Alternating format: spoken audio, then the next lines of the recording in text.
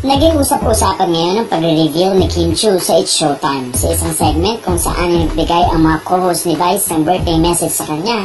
Inamin ni Kim na malaki ang pasasalamat niya kay Vice at sa pagtanggap sa kanya na maging part ng It's Showtime family.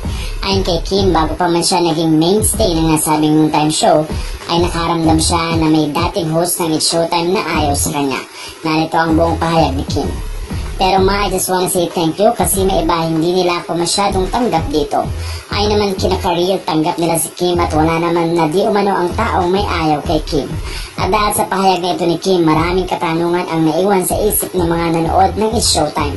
Ilang mga pangalan tuloy ang naisip ng mga netizens. Tanong ngayon ng mga netizens, sino nga ba ang dating host ng It's Showtime na ayaw kay Kim? Unang lumabas sa pangalan ay si Maria Rodriguez na wala rin sa It's Showtime na. Ayon sa mga netizens, tila may attitude daw si Maria dahil matatanda ang nasangkot din si Maria sa issue with Ivana Alawi. Pero nasangkot man si Maria ay hindi naman ito napatunayan.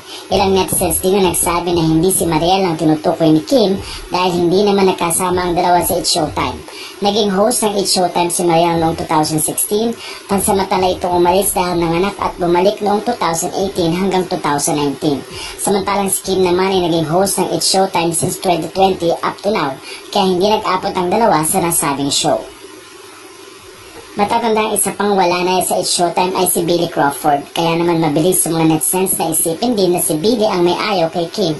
Pero wala namang patunay o pruweba na ayaw ni Billy kay Kim. Si Billy ay umalis din ng Showtime dahil na rin kailangan niyang mag-focus sa kanyang pamilya. And during the ABS-CBN shutdown ay nagkaroon ng offer si Billy na magtrabaho at maging host ng isang noontime show. Ang Lunch Out Loud na pinapalabas sa TV5. Sa bandang huli ay naisip din ng mga netizens na ang dating direktor na si Direk Bobet Vidanes ang ayaw kay Kim.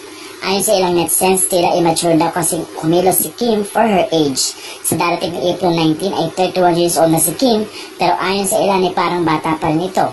Ilang mga fans naman ni Kim ang nagsabi na mukhang wala namang attitude problem si Kim at natural lang talaga sa kanya ang tila mali-mali minsan, pero masaya ding panoorin si Kim sa It's Showtime. Well, kung sino man ang may ayaw kay Kim ay hindi na importante. Ang importante ngayon ay masaya ang kasama ni Kim sa It's Showtime at marami ang nanonood sa kanilang show. Kailangan din magbigay ng benefit of the doubt ng mga tao at maisip ni Kim kung bakit ayaw din sa kanya ng iba. Like what we all said, we cannot please everybody. Ang mahalaga ay maging mabait tayo sa lahat ng tao at ano po ang masasabi niyo sa story na ito.